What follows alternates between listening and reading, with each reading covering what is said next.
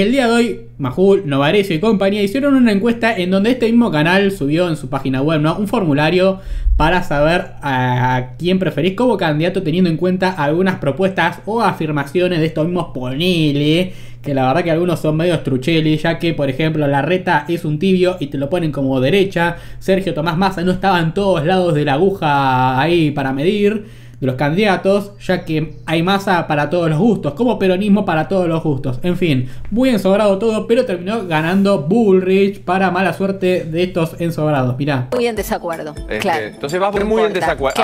No, depende, no, nos va a dar para mi ley. Bueno, no importa, dale. Los impuestos de la Argentina son excesivos y hay que reducirlos. Muy de acuerdo. muy de acuerdo. de regular a los privados para mejorar la distribución de la riqueza. Muy en desacuerdo. Muy en desacuerdo. Las restricciones a las importaciones son necesarias para fomentar y proteger a la industria. Muy en desacuerdo. Yo puse depende.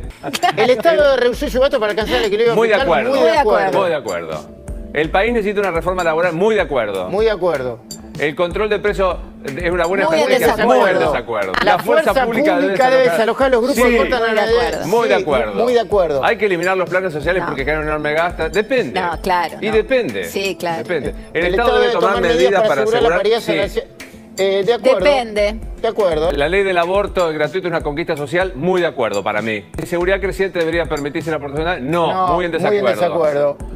¿La salud y la educación pública deberían continuar siendo... Sí, estoy de acuerdo. De acuerdo. De acuerdo. Depende también, ¿no? Pero sí. La Argentina debe romper el acuerdo con el fondo para... Para, basta. Muy, en, muy, en desacuerdo. Muy en desacuerdo.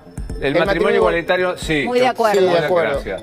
Eh, hay que pensar leyes que protejan a los policías y no a los delincuentes. Muy de acuerdo. Sí. Yo en realidad digo, hay que pensar ¿Qué candidato crees que se acerca a tu posición ideológica? Ah, yo no lo voy a decir. No, prefiero no contestar a ver qué nos sale. Salimos conservador. Y, salimos con Pato Bullrich. Bueno, fue demasiado gracioso esto porque un par de horas después el mismo Novarecio hizo otra encuesta, pero por casualidades de la vida ganó la reta. Pero qué cosas, eh. Las operetas salieron muy mal y terminó ganando la persona que menos quiere el siniestro frente a los periodistas pro siniestros. Se ve que el muchacho portador del mal en su interior se habrá quejado y bueno, vamos a hacer otra de vuelta porque si no se termina el sobre. Mirá. Saliste. Conservador más cerca de la reta y no tan lejos de Patricia Bullrich. Salió mal otra vez. Quisieron que no gane el peluca y terminó ganando Boombridge. Pero en esta encuesta estaban truchando un poco las cosas, ya que el Mono dijo que no quería que salga Milei, así que bueno, había que votar un poco distinto para, para no salir mal, parado, ¿no? Y después quedar ahí como pro Milei, un desastre, ¿no?